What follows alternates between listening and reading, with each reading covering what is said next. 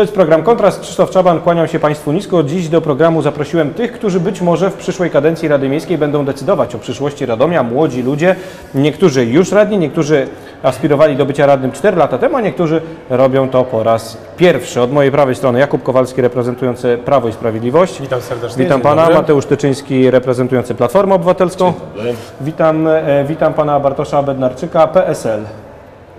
Bardzo mi miło i e, pan Krystian Łagowski, Kongres Nowej Prawicy. Witam pana bardzo serdecznie. Przyznam panom szczerze, że największa niespodzianka, bo o ile po panach mogłem się spodziewać, to o tyle po e, e, Bartku, e, e, panie Bart- Bartku, no nie spodziewałem się tego, tej kandydatury, ale wiem, że miała być jedynka, tak? Z, z któregoś okręgu, z Polskiego Stronnictwa Nie. Ludowego. Nie, nie miało być. Nie miało być. Bo cały czas nie dostałem list od, od y, przewodniczącego miejskiej organizacji. No to myślę, że do prezesa trzeba się... Do prezesa, kwestii- czyli do góry, jeszcze wyżej. Y, Nie, do prezesa miejskiej A, no, organizacji. a rozumiem, no właśnie. Natomiast no, przyjąłem e, propozycję akurat y, PSL-u, mimo że jestem e, bezpartyjny.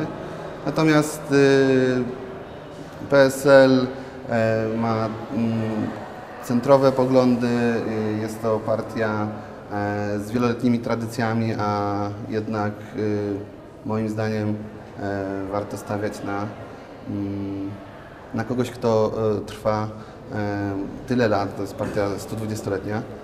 Natomiast, y, natomiast no, nie ukrywam, że ofert y, mieliśmy wie, miałem wiele, tak, z różnych ugrupowań. No to y, chyba harcerski mundur najbliżej zbliżony do koloru zielonego. No, Może dlatego. Pewnie tak, ale, ale, ale przyjąłem tę propozycję. A ja przyjmę także pański głos w dyskusji, jeśli chodzi o e, to, o co będę pytał, bo zacznę od sytuacji, y, która e, no, jest sytuacją, powiedzmy, delikatnie napiętą. E, Wiemy o co chodzi. Pan Krystian Łagowski został, e, jednak e, został zgłoszony postulat do prokuratury o to, aby e, dokonał pomówienia, tak? Jak to było, Panie Jakubie, bo Pan chyba najbliżej tego, jeśli chodzi o e, stronę Prawa i Sprawiedliwości. To nie jest strona Prawa i Sprawiedliwości. Takie zawiadomienie złożył pan prezydent Andrzej Kosztowniak jako prezydent miasta w imieniu całej rzeszy miejskich e, urzędników e, i nie tylko miejskich, bo jest wiele instytucji w mieście, które dzisiaj prowadzą przetargi, prowadzą zamówienia publiczne Mm, i dzisiaj, kiedy słyszą, że przetargi w mieście są ustawiane, e, czują się po prostu e, dotknięci e, i czują się pomówieni. Wcale im się nie dziwię. Ja odebrałem wiele telefonów e, po tych wypowiedziach, również osób niezwiązanych z polityką, które na co dzień zajmują się tym, żeby w mieście przetargi były prowadzone w sposób rzetelny i uczciwy i one tą wypowiedzią poczuły się po prostu dotknięte, więc prezydent miasta Radomia złożył e, stosowny e, wniosek e, i dzisiaj będziemy czekać na jego rozpatrzenie.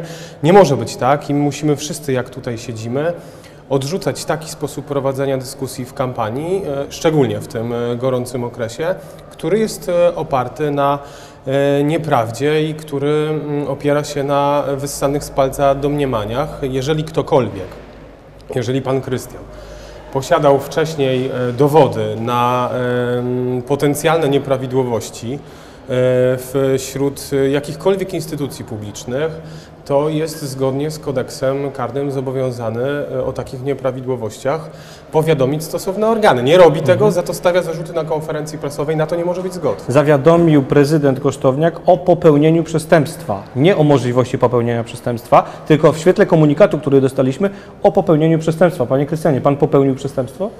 No, aby popełnić przestępstwo, aby mówić o przestępstwie, to najpierw musi być wyrok sądowy. E, Dopóki takiego wyroku nie ma, nie można mówić w ogóle o popełnieniu przestępstwa, prawda? E, Powiem tak, dla mnie, e, szczerze mówiąc, decyzja pana Kosztowniaka była zaskoczeniem. Szczególnie, że ta informacja, którą, którą podał na Facebooku, czyli to oświadczenie, że poda mnie do prokuratury, jest, posiada błędy formalne. No, to, to jakby symbolizuje, jak działa cały, cały, cały ten kraj, jak działa całe to państwo. E, Pomijając już e, fakt, że chodzi bardziej o zastraszenie przeciwnika, aniżeli o e, jakby taką debatę merytoryczną, bo co do tego to, to dojdzie i proszę wierzyć, że otworzył pan prezydent w tej chwili puszkę Pandory. Znaczy będziecie wylewać dalej takie takie rzeczy, mówić o nich. y, y, Tak, no, zgłaszają się do nas ludzie, którzy mają dokumenty, mają dowody na to, że były nieprawidłowości w pewnych. To ja zapytam. Pan powiedział o tym, że większość przetargów y, na, e, w miejskich, przepraszam, większość przetargów miejskich. y, Tego nie powiedziałem. No, to co Ja pan powiedziałem, powiedział? że większość przetargów jest ustawiana. Tak jest, większość przetargów jest ustawiona. Tak jest. To jest. Więc które Tak. są? Tak. Które no są- ja w tej chwili nie mogę o tym mówić. e, Zbieramy wszy- wszystkie informacje do kupy. A Ja też się nie dziwię tej reakcji pana Jakuba, bo, b- no bo Panie redaktorze, gdybym mógł. Były wielokrotnie Je- jeszcze- kontrole jeszcze- Urzędu mhm. Zamówień Publicznych, Najwyższej Izby Kontroli, Regionalnej Izby Obrachunkowej. Wiele również innych służb kontroluje na co dzień Urząd Miejski i instytucje mu podległe. Żadna z tych kontroli nie wykazała jakichkolwiek nieprawidłowości w postępowaniach przetargowych, nieprawidłowości, które zakończyłyby się postępowaniem administracyjnym bądź e, sądowym. Okej, dlaczego w takim razie? y, Ja nie chcę też, żebyśmy mieli jasność, nie chcę, żeby to była debata dwóch panów, bo mamy także młodych przedstawicieli i o to też będę pytał. Jedno pytanie jeszcze, żebyśmy skończyli ten wątek albo próbowali skończyć. Y, w- Jeśli pan nie chce powiedzieć, które przetargi są ustawione, to dlaczego nie chce pan powiedzieć? Bo boi się pan odpowiedzialności? Nie, nie, nie. E, Po prostu przyjdzie na to czas. Ja czekam po prostu na sprawę w sądzie. E, Jeżeli do sprawy dojdzie, to wtedy wszystkie informacje, które ja posiadam, zostaną ujawnione.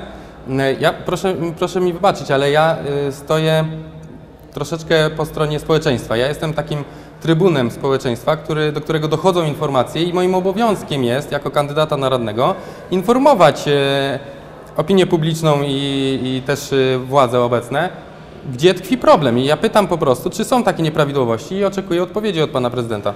Jeśli Panie, bardzo proszę. Panie redaktorze, bo ta sytuacja jest coraz bardziej zabawna. Pan na to patrzy z boku dzisiaj? Ja patrzę na to trochę z boku, patrzę na to jako człowiek, który życie publiczne w Radomiu obserwuje od wielu, wielu lat, mimo że jestem człowiekiem młodym, bo z tym związałem swoje życie zawodowe. E, O tym, że e, rozstrzygnięcia miejskich przetargów często budzą wątpliwości, w Radomiu tak naprawdę się mówi bardzo głośno. E, I rzeczywiście bardzo dobrze, że ten temat dzisiaj wypływa. Ja nie odważyłbym się powiedzieć, że te przetargi są ustawiane. Dlaczego? Bo nie mam na to dowodów. Mnie może razić, że e, zlecenie e, dostaje firma radnego, tak? Mnie może razić, że... Mówi pan o panu Pacholcu w, tym, tak, w tej że sytuacji. catering na Airshow dostarcza firma powiązana z szefem jednej z miejskich e, instytucji. Tutaj mówi pan o panu Kielskim. Dokładnie. I mnie te sytuacje rażą. Natomiast odpowiedzialność za słowo. Jeśli pan Krystian mówi, y, że dochodzi do procederu ustawiania przetargów, to jest bardzo ciężki zarzut. To jest zarzut popełnienia poważnego przestępstwa, y, poważnego przestępstwa, które uderza w podstawy funkcjonowania miasta. Bo my jako obywatele miasta musimy mieć zaufanie do tego, że władze tego miasta naszymi pieniędzmi, bo wszystkie pieniądze, które oni wydają, to są nasze pieniądze, y, gospodarują dobrze. Dlatego ja apeluję, y, bo to jest typowe dla Kongresu Nowej Prawicy. Wrzućmy granat do szamba, ucieknijmy jak najdalej, żeby nas nie ochlapało i czekajmy, co się będzie działo. Y, Nie ma co czekać na proces. Ten proces odbędzie się, jeśli się odbędzie, to odbędzie się po wyborach. I, ale, a no, teraz się w trybie wyborczym nie może odbyć. Dokładnie. Więc, panie Krystianie, jeśli ma pan dowody, jeśli ktoś z pana środowiska ma dowody, połóżcie te dowody na stół. Nie działajcie w kampanii wyborczej takimi metodami, tylko działajcie dla dobra miasta. Panie Bartoszu, pan się przysługuje temu, jak to wygląda, jeśli chodzi o spojrzenie człowieka, który z polityką nie miał, albo z samorządem nie miał e, do tej pory zbyt wiele do czynienia, a jednak chce reprezentować społeczeństwo w Radzie Miejskiej. Wręcz przeciwnie, z samorządem miałem bardzo dużo do, do czynienia Ale zupełnie jako, innej pozycji. jako przedstawiciel organizacji pozarządowej. tak, tak. Y, I moje doświadczenia są różne. Y, Myślę, że nie jest to pora na to, żeby jakoś bardzo tutaj szaleć z, z, z wywodami na temat moich doświadczeń. Natomiast niewątpliwie, mm, jeżeli ktoś posiada dowody na y, popełnienie przestępstwa, powinien to zgłosić odpowiednim organom i to im powinniśmy zostawić e, ocenę tych faktów. E, natomiast e, my jako obywatele tego miasta powinniśmy czuć się zaniepokojeni tym, że takie sygnały dochodzą i również powinniśmy oczekiwać wyjaśnienia, jednak e, w toku postępowania e, odpowiednich organów, czy, czy, czy, czy sądowego, czy y, y, prowadzenia jakiegoś dochodzenia. Nie posiadam takich informacji, więc y, Nie zdobyłby się Pan na, takie, na, taką, na taką ocenę, że są ustawiane. Tak, tak. A natomiast niewątpliwie uważam, że e, jeżeli są takie podejrzenia, to powinny zająć się tym odpowiednie organy i one nam powiedzą, e, czy tak jest, czy tak nie jest. Rzeczywiście może w Polsce e, ten tryb pracy sądów jest bardzo wydłużony. E, nie wiem, czy, czy właśnie zarzuty, które postawił pan Krystian, wynikają z tego, że w tym momencie wszedł do, w posiadanie takich informacji. Natomiast niewątpliwie w, toku procesu y, sądowego czy, mm, czy postępowania y, odpowiednich służb powinny zostać wyjaśnione. Na co Pan, na co pan czeka? Na co pan Ja, czeka? ja chciałbym powiedzieć, że mm, te schematy i rodzaje, w jaki sposób ustawia się przetargi, czyli to, o czym mówiłem na poprzedniej konferencji, e, to wszystko jest działanie w granicach prawa. Także to nie jest w ten sposób, że jest to przestępstwem. Ale ustawianie nie kojarzy się No tak. y, to słowo z y, czymś, co jest w granicach prawa. Tak, ale y, jeżeli, jeżeli w sposób prawny da się w ten sposób pokierować przetargiem, żeby akurat trafił on do swojego człowieka, do wyznaczonego, ten, tego, który mm, zasady numer jeden ma wygrać taki przetarg, no to, to, to je, jednak to nie jest przestępstwo, prawda? To jest proceder, który, na który pozwala nasz system obecny. I, i, i tutaj musimy się dopatrywać problemu. Ja E, widzę pewną tutaj nieścisłość, ponieważ no jednak y, wypowiada Pan to w, y, w kategorii y, no jednak w kampanii samorządowej. No, jako samorządowcy ma, y, mamy prawo na to, żeby wpływać na, na, na, na ustawodawcę.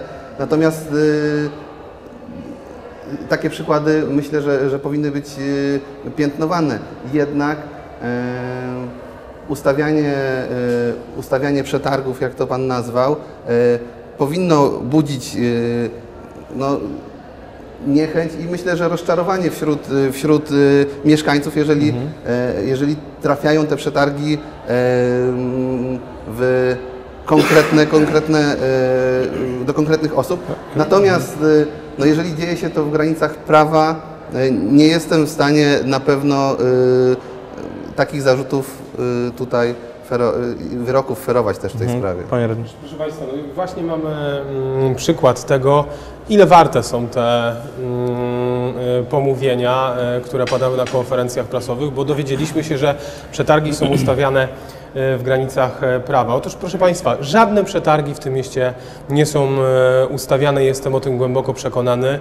Działamy w ramach e, ustaw, ustaw, o których wielokrotnie mówiliśmy, że są wadliwe, jeśli chodzi o prawo zamówień publicznych, w wielu przypadkach nieprecyzyjne, w wielu przypadkach powinny być mm, inaczej e, napisane, ale działamy e, wobec takiego prawa, jakie jest ustanowione przez e, polski e, Sejm. I tak jak mówię, Urząd Miejski był wielokrotnie kontrolowany i nigdy te kontrole nie skończyły się postawieniem jakichkolwiek zarzutów, e, co najlepiej pokazuje, że działamy w zgodzie z ustawą i obowiązującym prawem. Natomiast jeżeli ja słyszę od pana Krystiana, że prezydent nie zna prawa, mm, bo powiadomił prokuratora, E, a pan Krystian wywodzi, że nie powinien tego robić, gdyż em, artykuł e, 212, czyli pomówienie, ścigany jest w trybie mm, prywatno-skargowym, czyli skargę powinna złożyć osoba pokrzywdzona. To ja pana bardzo proszę, żeby pan mm, dalej e, doczytał e, w polskim systemie prawnym, że istnieją klauzule generalne. Taką klauzulą jest interes publiczny. Interes publiczny pozwala, żeby w takim przypadku do postępowania włączył się mm, prokurator e, albo jako oskarżyciel, albo jako oskarżyciel posiłkowy. I mm, można w takim przypadku, panie Krystianie, zawiadomić prokuraturę, a w tym przypadku nie chodzi o prezydenta miasta. Chodzi o dziesiątki urzędników, pracowników szkół, miejskich instytucji, którzy prowadzą przetargi, a pan powiedział o tym, że przetargi w mieście są ustawiane. Więc teraz trzeba wziąć odpowiedzialność za swoje słowa. Już dzisiaj zaczyna się pan wycofywać, mówić, że one są nie. Ustawiane w ramach prawa. Oczywiście, tak, bo to jest błęd E, systemu. Tak, to Wie prawda. pan, niech pan sprawdzi w słownikach, e, jakie jest znaczenie słów, których używał pan na konferencji prasowej. Ja apeluję do nas wszystkich, bo to nie jest pierwszy przykład. A Już takich w tej może być kampanii- więcej, panie W tej kampanii wyborczej. Nie opierajmy kampanii na języku pomówień Mhm. i półprawd, Tylko jeżeli ktokolwiek posiada jakiekolwiek dowody na nieprawidłowości, to nie powinien robić konferencji prasowych, nie powinien zamieszczać materiałów na Facebooku, tylko pierwsze, co powinien zrobić, powinien odwiedzić posterunek policji bądź prokuraturę, żeby złożyć stosowne zawiadomienie, bo tak dzisiaj powinniśmy działać w ramach prawa. Apeluję, bądźmy uczciwi w tej kampanii. Ja ap- apeluję, panowie, ja panie. też apeluję, bo znowu się zrobił spór y, taki trochę jałowy. Panie Krystianie, proszę to powtórzyć w kampanii wyborczej, gdy już będzie można zastosować Tryb wyborczy. tryb wyborczy. Wtedy odpowiednie, Czyli to można stosować. odpowiednie, do momentu rejestracji odpowiednie organy, organa państwa y, przeprowadzą to postępowanie bardzo szybko i sprawnie, czyli tak jak Kongres Nowej Prawicy by chciał, żeby to prowadziły. Po 7 października będzie to możliwe. taką mam propozycję i to nam zamknie temat. Wtedy będziemy mogli jeszcze przed wyborami ocenić zarówno pana prezydenta i radomski PiS, jak i pana i Kongres Nowej Prawicy. Będzie taki test na waszą wiarygodność. Ja mam, ja mam takie pytanie w takim razie do pana Jakuba. Jeżeli uważa pan, że to, co ja zrobiłem jest, jest błędem, to jak pan oceni działanie pana prezydenta, jeżeli chodzi o e, właśnie tekst tego wniosku? Tam jest, e, tam jest e, tego, tego oskarżenia, tam jest napisane wprost, że zawiadamia on o popełnieniu przestępstwa. Więc jak, jak pan Właśnie do tego to odpowie, to pytałem. To- To, Nie o możliwości nie, nie, nie można powiedzieć o kimś, e, że, nie, że, nie, że jest przestępcą, jeżeli nie ma wyroku sądowego. E, Ja nie będę tutaj rozmawiał o poszczególnych słowach tego tekstu, bo ja nie pamiętam. Poza tym, z tego co ja wiem, to prezydent e, wrzucił na Facebooka tylko nagłówek, nie publikując uzasadnienia Nie, nie, jest i dalszej treści tego wniosku. Od tego są stosowne organy, żeby rozstrzygać, e, czy ten wniosek został złożony poprawnie, czy nie. Panowie, musimy- Gdyby działał tryb wyborczy, gwarantuję panu, że byłoby już po sprawie i zostałby pan przez sąd osądzony. E, Szanowni Panowie, po 7 października będzie to możliwe, będziemy na pewno śledzić tę sytuację. E, Panie Kubie, kolejne pytanie do Pana, także e, a propos tego, co ostatnio na YouTubie e, mówił e, Pan Krystian Łogowski. Panowie śledziliście, pewnie znacie treść tej wypowiedzi. Państwo być może nie. E, Krótkie przypomnienie, krótki cytat z tej wypowiedzi. Na ostatniej konferencji prasowej z dnia 25 września powiedziałem, że większość przetargów jest ustawiona. Wytłumaczyłem także, jakie są mi znane metody ustawiania tych przetargów. Uderz w stół, a nożyce się odezwą. Widocznie pan prezydent czegoś się obawia, skoro odbiera te zarzuty osobiście. Zwłaszcza, że w ostatni piątek dwóch najbliższych współpracowników pana Kosztowniaka zostało ponoć wyrzuconych z partii przez samego prezesa Jarosława Kaczyńskiego. W związku z powyższym pytam pana prezydenta, czy były nieprawidłowości związane z e, zakupem działki pod budowę supermarketu przy ulicy 25 czerwca? Czy były nieprawidłowości przy zamianie działek e, w okolicach lotniska na działki pod budowę szpitala? Oraz jak to jest, że w Radomiu e, większość przetargów wygrywa e, jedna firma budowlana? E, Panie Jakubie, e, czy Karol Sońta i Igor Marszałkiewicz, bo Pan Krystian mówi o dwóch członkach Prawa i Sprawiedliwości, są nadal członkami Prawa i Sprawiedliwości? Przez ostatnie 6 miesięcy żaden z członków Radomskiego Prawa i Sprawiedliwości nie został skreślony z list partii. Pan Igor Marszałkiewicz jest członkiem Prawa i Sprawiedliwości, członkiem Rady Politycznej, czyli władz krajowych. To samo tyczy się pana Karola Sońty. Kolejne pomówienie, kolejna plotka, niczym nieuzasadniona. Ale nie kandydują obaj. To przypomnę Państwu, y, że obaj Ale nie, kandyduje Adam Włodarczyk z SLD, Marek Golka z Platformy Panie Obywatelskiej, radny, ja Teodora pytam o Słoń z Pana kolegów. Razem. Ja pytam o Pana kolegów. Ja Zostawmy na razie radnych dotychczasowych zupełnie dwie różne rzeczy. To, że ktoś rezygnuje z startu w wyborach, nie jest jednoznaczne z tym, że zrezygnują, zrezygnował z członkostwa w partii. Mhm. Obaj panowie są członkami Prawa i Sprawiedliwości. Nikt, ani oni sami, ani partia nie skreślała ich z listy członków. Dlaczego w takim razie nie kandydują? Sami o tym O to zdecydowali? proszę pytać Karola Sońta i Igora Marszałkiewicza. Panie e, Krystianie, skąd Pan wie w takim razie, że nie są członkami PiSu? To znaczy, ja y, nie wiem, czy oni są członkami PiSu, czy nie są. Wiem, że Pan o to zostali, zapytał. Tak, zostali, zostali po prostu e, wyrzuceni z list, e, z tego co mi wiadomo. Zostali wyrzuceni z partii. Zapytał o to. Ja zapytałem, czy oni zostali No ale wyrzuceni. jednocześnie pan sugeruje, wie pan, to No jest wie pan. sposób dyskusji... Pytanie, a sugestia to, jest, to są To jest zupełnie sposób dyskusji prowadzony przez Kongres Nowej Prawicy. Słuszny. Sugestie, Taki- pomówienia, No plotki, niestety w takim domysły. Systemie, niestety w takim systemie, w jakim żyjemy, to jest jedyna możliwa e, droga do tego, by pytać o prawdę. Żyjemy w systemie zakłamania, co Pan właśnie prezentuje, e, mówiąc, że oni sami zrezygnowali. To jest nieprawda. Za kulisami mówi się wprost, że to są ludzie, którzy popełnili pewne błędy i w tej chwili muszą... A co to e, za błędy, Panie Krystianie, gdyby Pan mógł to znaczy, ja nie mogę tego mówić, bo to nie są oficjalne informacje. To są zakulisowe tematy, które dochodzą do nas e, właśnie ze struktur pana Jakuba. E, Splotek, drogi panie. Bezpośrednio z, z pana struktur, także to wy musicie pilnować swoich struktur. E, ja w momencie, gdy miałbym takich, e, takich e, kretów, to, to raczej bym się, bym się ich e, pozbywał. E, Pan radny Mateusz, pan radny, przepraszam, Mateusz Tyczyński. Dziękuję, to już drugi raz, kiedy, Dru- drugi raz. kiedy, media, się, kiedy media się pomyliły, Być w ten sposób bardzo mi miło. Panie e, Mateuszu, być może dlatego, że często Pan bywa na sesjach Rady Miejskiej, zasiada Pan obok kolegów radnych i tak jakoś podświadomie człowiek myśli potem, że Mateusz Tyczyński także jest radny. My serdecznie Panu życzę wszystkim, jak tutaj siedzicie, żebyście zostali wybrani, bo to społeczeństwo zadecyduje. Natomiast e, pytanie e, wczoraj e, o, między innymi Pana Jakuba Kowalskiego określił, e, określiliście Państwo razem z kandydatem Radosławem Witko- Witkowskim i pozostałymi kandydatami do Rady Miejskiej jako tego, który p- prowadzi do wojny e, politycznej w Prawie i Sprawiedliwości. Dlaczego? Nie w Prawie i Sprawiedliwości, w sensie nie wewnętrznie, bo tutaj rozumiem, że już odchodzimy od tego tematu panów, którzy są wyrzuceni, nie są wyrzuceni i tych wewnętrznych To Panu coś problemów. na ten temat wiadomo w takim razie? Bo d- być może faktycznie PiS nie, nie pilnuje swoich Znaczy, struktur. panie redaktorze, e, nie chcę powtarzać plotek, bo rzeczywiście w mieście gruchnęła informacja o wewnętrznych problemach Prawa i Sprawiedliwości. Czym spowodowanych? Nie chcę o tym mówić, jeśli, jeśli, o, okaże się, jeśli okaże się to prawdą, na pewno wszyscy się o tym dowiemy, ale nie chciałbym się zajmować Prawem i Sprawiedliwością, niech oni się zajmują swoimi kłopotami. E, Co do tej politycznej wojny wywoływanej między innymi przez, e, przez, przez pana, pana Jakuba. E, Mamy dzisiaj prostą sytuację, bardzo prostą sytuację. Premierem rządu Rzeczypospolitej jest Radomianka ministrem infrastruktury i rozwoju, a więc osobą odpowiedzialną za y, środki unijne w Polsce w nowej perspektywie, oczywiście mówię w dużym skrócie, jest Radomianka. Y, Wicepremierem jest osoba pochodząca z regionu radomskiego. y, I w tym, Pancer, e, studzianki pancerne. tak jest, bardzo, bardzo piękne miejsce tak swoją drogą. I w tej sytuacji to jest ogromna szansa dla Radomia. Ale czy, ale Szansa, czy tak która, będzie? szansa, która może się ziścić tylko w jednym momencie, którą możemy wykorzystać tylko w jednym przypadku. Kiedy będzie dobra, rzetelna współpraca samorządu miasta z rządem Rzeczypospolitej. Koledzy pana Jakuba, sam pan Jakub czasami udowadniał, że nie, nie chodzi mu o współpracę z rządem, ale o polityczną wojenkę.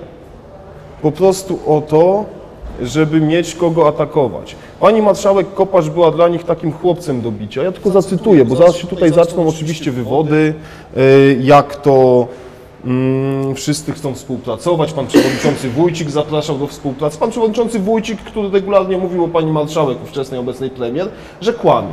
Ja zacytuję senatora Skutkiewicza, bezpośrednie zaplecze polityczne władzy samorządowej w Radomiu, jedną z czołowych postaci PiSu.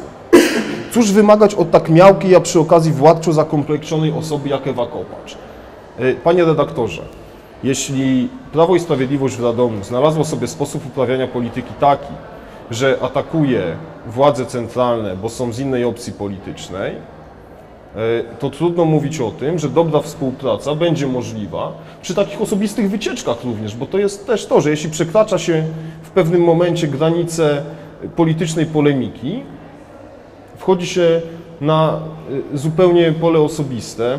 Zresztą ja już nie będę cytował tego, co pan poseł Suski wy, wypisywał na blogu, bo robiąc sobie research do programu, y, znalazłem takie kwiatki, że powiem szczerze, nie śledzę tego bloga, ale dziwię się, że poseł na Sejm Rzeczypospolitej takie bzdury wypisuje o osobie jednej z najważniejszych w państwie.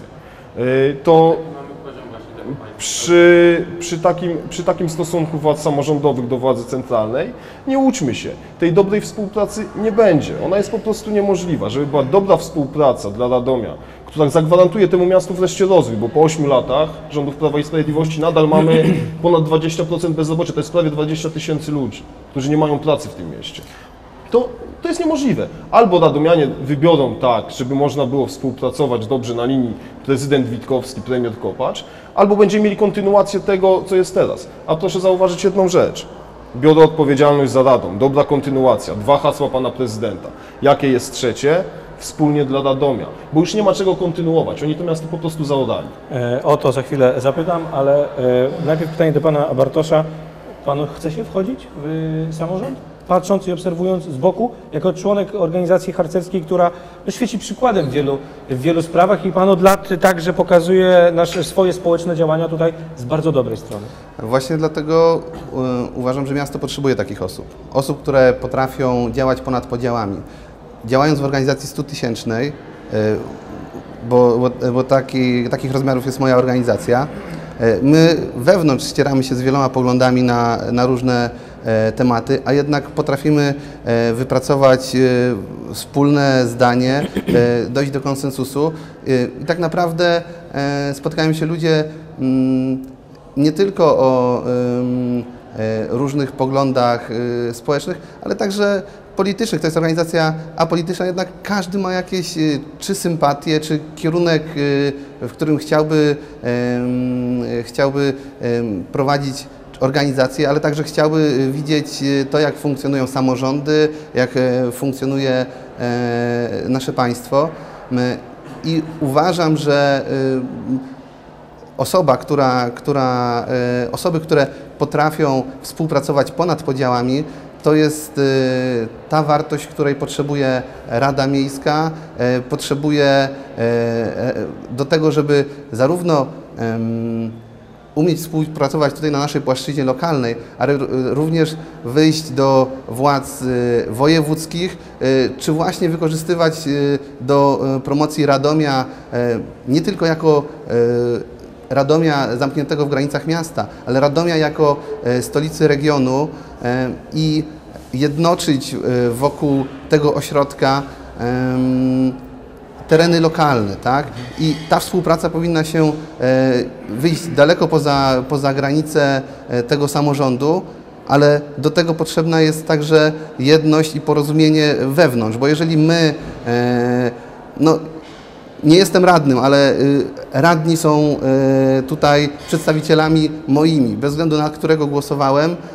Wszyscy radni są przedstawicielami całego społeczeństwa Radomia. Jeżeli oni nie potrafią dojść do konsensusu, to w jaki sposób będziemy odbierani na zewnątrz? Nie potraficie Państwo dojść do konsensusu, ale prezydent Witkowski i premier Kopacz to według pana Mateusza gwarantuje, a tutaj według pana Bartosza także. E, inne kwestie ważne. Kłamliwa teza prezydent Witkowski, premier Kopacz, bo pani premier Kopacz od czasu wyborów samorządowych będzie premierem jeszcze co najwyżej kilka miesięcy. E, Choć, e, tak jak mówiłem, trzymam kciuki zarówno za panią premier, jak i za nową panią minister z Radomia. I to nie jest tak, jak koledzy z Platformy próbują mówić społeczeństwu, że my nie potrafimy rozmawiać. Bo otóż kiedy podczas z jednej ostatnich konferencji prasowych Platforma mówiła o tym, że prezydent nie potrafi rozmawiać z Platformą Obywatelską, tenże prezydent siedział w gabinecie e, aktualnego wicepremiera, pana ministra Siemoniaka z Platformy Obywatelskiej, razem z senatorem Wojciechem Skurkiewiczem mm, dogadywali tematy związane z Airshow. Ten prezydent, ten prezydent, panie Mateuszu, ja panu nie przerywałem i proponowałbym, żebyśmy zachowali pewne zasady, które tutaj obowiązują. Ten prezydent wielokrotnie rozmawiał w gabinecie. Pani marszałek Ewy Kopacz wielokrotnie mm, spotykał się z panią marszałek e, w Radomiu, e, z pańskim szefem, panem e, Banaszkiewiczem, co państwo wielokrotnie podkreślaliście, zarówno pan prezydent, jak i pan mm, Banaszkiewicz. W sprawach ważnych dla Radomia potrafimy rozmawiać ponad podziałami i otwierać różne drzwi, ale proszę nie odbierać nam prawa do tego, żeby e, przypominać państwu o wielu zaniedbaniach, bo kiedy ja na tej tablicy kiedy wczoraj Państwo prezentowaliście z jednej strony polityczną wojnę, którą niby, której niby mam być uosobieniem, nie bardzo wiem, e, w którym momencie mojej politycznej działalności można mnie posądzać o e, wojnę czy o kłótliwość, e, to z drugiej strony napisaliście porozumienie i współpraca. I pierwszą z inwestycji, e, o których chcecie mówić, jest linia kolejowa numer 8. Przecież to nie kto inny, jak pański szef Radosław Witkowski w 2009 roku obiecywał radomianom, że będą jechać koleją do Warszawy w 53 minuty. Dzisiaj po raz kolejny obiecujecie to, co obiecaliście już 3 czy 4 mm, razy, więc to jest jakiś polityczny matrix i musimy dzisiaj wysilić się, żeby w najbliższych tygodniach rozmawiać merytorycznie i rzeczowo, a nie oskarżać się o wojnę e, i po raz kolejny obiecywać to, co już zostało wielokrotnie obiecane. E, ostatnie pytanie do pana Krystiana. Kiedy pan ujawni kwestię? W najbliższym czasie, spokojnie. Będziemy, będziemy E, pomalutku to jest dozować. kwestia dni, tygodni? Dozo- Dni, już w tej chwili to dni. E, przy takim nacisku i chęci tutaj z, z, ze strony obecnie rządzących, to, to jak najszybciej będziemy Weźmie pan za to pełną odpowiedzialność. To naturalnie. Ja jestem odpowiedzialnym człowiekiem e, za swoją rodzinę, za swój biznes i tak samo będę odpowiedzialny za to miasto, e, gdy będę radnym. Natomiast e, ja chciałem powiedzieć, że tutaj cały czas jest mowa o grze. Ja za bardzo nie, nie pasuję do tego towarzystwa, bo ja nawet nie, nie, nie za bardzo wiem, o czym panowie mówią, na jakimś dogadywaniu i tak dalej, i tak dalej. Natomiast chciałem, chciałem dodać jeszcze jedno, że społeczeństwo naprawdę ma już e, dość takiej e, przepychanki, obietnic, że coś będzie zrobione, że coś nie będzie. Ja e, widzę, jak wygląda Radom po rządach PiSu. Obawiam się jeszcze bardziej, jakby wyglądał Radom, gdy PO by wzięło e, odpowiedzialność za zarządzanie w Panowie, mieście. to jak będzie wyglądał, będziemy wiedzieć, będziemy śledzić. Do 16 listopada jeszcze się wiele wydarzy, na pewno nieraz jeszcze się spotkamy przy okazji różnego rodzaju konferencji, nawet programów, także e, dziękuję dzisiaj za to e, spotkanie. Od mojej prawej strony Jakub Kowalski, Mateusz bardzo. Kuciński, Bartosz Bednarczyk i pan Krystian Dziękuję Łagowski. To był program Kontrast, Krzysztof Czaban. Widzimy się tradycyjnie za tydzień. Kłaniam się, do zobaczenia.